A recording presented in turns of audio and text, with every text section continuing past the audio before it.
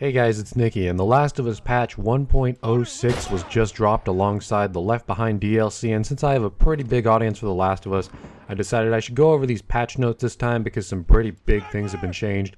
You can review the entire patch notes down in the description, there is a link, but I'm actually just going to go over the highlights because I know you all got stuff to do and hunters shoot in the face, so we're going to go over stuff really quickly. This is mostly going to be an objective analysis, but it's going to get subjective at the end when we talk about the loadout changes.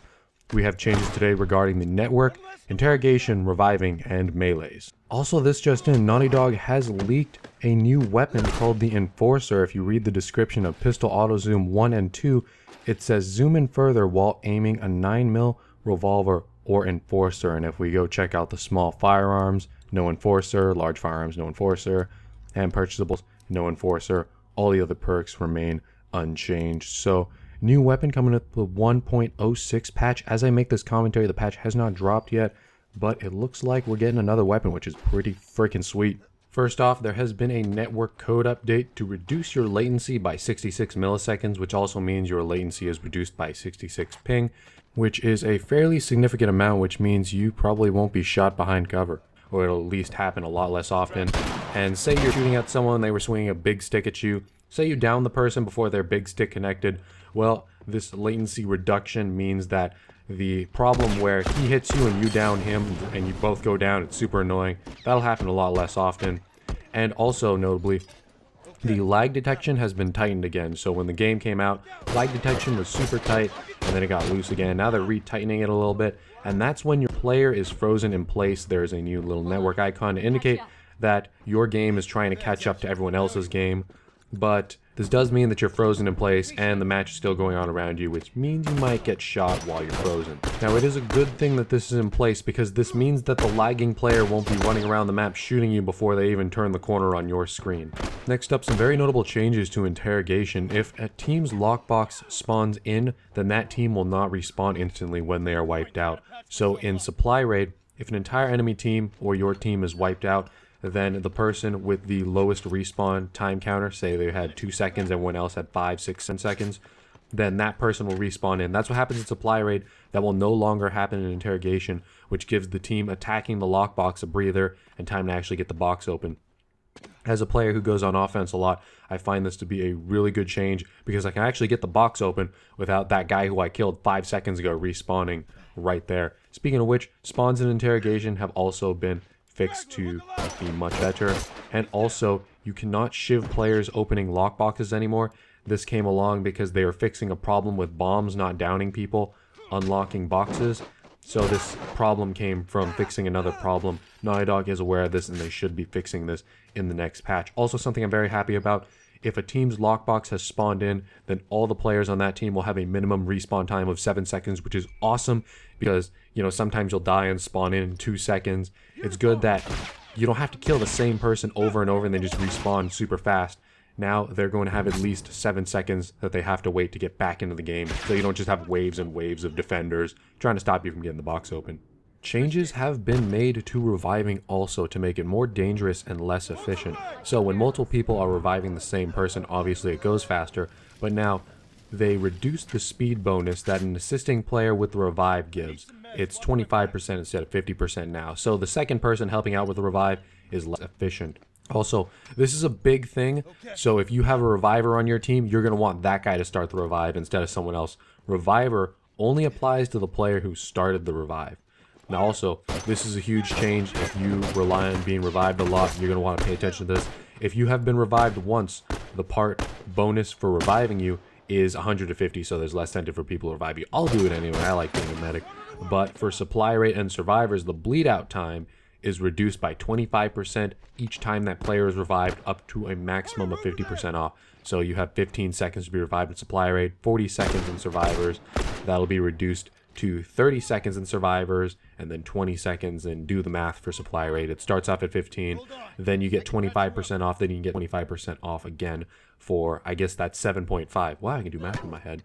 So yeah, don't go down a lot because that means you will have a shorter bleed out time. Now for melees that have been changed, melee attacks will only abort when the attacker is in the wind up phase of the attack, which means if someone sticks you with their big stick and it's in your neck, you can't keep shooting at them to make them abort the attack. Of course, this will still happen sometimes because there are latency issues involved in that, but the biggest melee change for sure is if someone shoots you, you cannot shiv them for 3 seconds, which pretty much nerfs the shiv dance and makes it impossible unless you dodge all the person's bullets.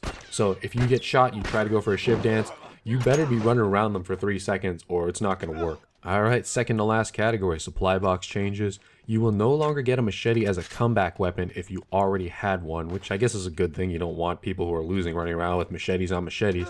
Mollies will only spawn as comeback weapons if you have two bombs. So you can get bombs pre-made and mollies pre-made if your team is losing by a lot. Well, now you can't get a molly unless you already have two bombs. It's no longer a 50-50 chance getting a molly or a bomb, which I think is a good thing because mollies are kind of really powerful. And the enemy team having mollies on mollies to throw at you, not a good thing, especially if you're a guy who wins a lot like me. You don't get an extra item from the item box pre-made if you already have two bombs and mollies, which is sweet because then people will have three bombs and three Molotovs to throw at you if they are losing severely. And this is a big change. You will no longer get extra ammo by shooting at the beginning of the match. So what a lot of players do is fire their gun in the air a few times, hit the box, get some free ammo, and that way they have more ammo than they would have started off with if they didn't shoot their gun in the air. That is no longer the case. You can't do that anymore. Ammo now comes in lower quantities, so instead of getting a big box of 5 bullets, you'll just get a few boxes of 2 bullets. Makes it a little more precise. The game can choose how much they want to give you instead of just giving you a big pack of 5. And that's for pistol bullets. Of course, if you got 5 shotgun shells, that's kind of crazy. And speaking of getting 5 shotgun shells, the ammo comeback weapon spawns match the amount when purchased. So you don't get 5 shotgun shells out of the box anymore. You'll get 2 because that's how many shock shells you get if you purchase it. AR has gone from 20 to 10, El Diablo has gone from 4 to 3 to match how much you'd get if you normally purchased the weapon. There's been a bug fixed where the last player standing didn't get ammo, that's a good thing.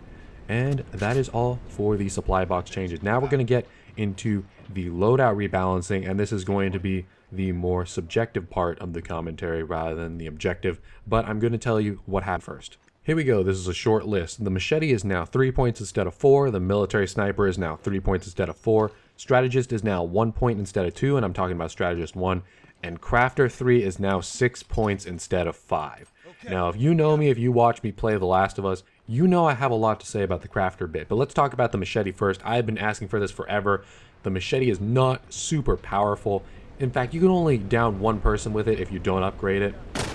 So, uh, before it breaks, that is. The machete being 3 points instead of 4 is awesome it's not so powerful that it needs to be a four-point weapon, but what is so powerful it needs to be a four-point weapon, in my opinion, is the military sniper. Now it's three points instead of four points. Now it's on par with El Diablo. Both of those things are worth three points. El Diablo ammo is cheaper, but military sniper ammo you get more. You can pop heads off with military sniper, straight up execute. What do you guys think? Let me know in the comments. I actually think the military sniper should have been kept to four points instead of three. I don't quite disagree with that uh, or agree with it, but I'm more on the disagree side. Strategist being one point is awesome. I really don't care for using Strategist 1. There's no reason I'd want to know when I'm tagged. I'd rather just run Covert Training 3 and not get tagged at all. So that's a good thing. If I ever run Strategist, it's probably an interrogation. I'm running Strategist 3, but this change to Strategist 1 is a good thing because if I have one spare point, maybe I'll stick in a Strategist now. Because it being two points, I'm just like, it's not worth it. Let me spend it on something else. All right, here we go. Here's the big rant. Crafter 3 is now 6 points instead of 5. What the flying fuck? That's my favorite perk in the whole game. Naughty Dog, why? I, okay, I, I'm biased here, obviously. But I rather would have stuck Crafter 3 to 5 points instead of 6. I actually would have brought down First Aid Training 3 to 5 points instead of 6 because First Aid Training and Crafter are now on equal levels. Crafter 3 and First Aid Training 3 are both 6 points. Those are perks that support people need to run and you're kind of demotivating people to support the team if you're making it one of the most expensive perks in the game. so i would actually recommend first aid training down to five points instead of crafter being six points and i'm talking about the most advanced version of those perks the third level of those perks. That makes me kind of sad, which on my favorite loadout, I run semi-auto, sharpshooter 3, explosion expert 1, and crafter 3. Now I'm going to have to give up explosion expert 1 to get that extra point to go for crafter 3 because I am addicted to that perk. I love giving my friends equipment, and I love getting the points that crafter gives you for giving stuff away. Anyway, those are the patch notes. You can review them in their entirety, linked down in the description. Let me know in the comment section, what do you guys think about these patch notes? And mostly, what do you think about the military sniper being 3 points instead of 4? Do you also like the machete being 3 points instead of 4, which I do? Do you like strategist being 1 point? Most of what do you think about crafter? Do you, guys agree with me? Because I really need my crafter on all my classes. It's kind of a crutch for me. Anyway, thank you all for listening. I've been Nicky from Stealth Shampoo. Check me out. Social media links are down in the description.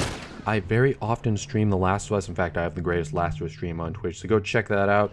Twitch link down in the description. Thanks for coming, guys, and I'll see you all some other time.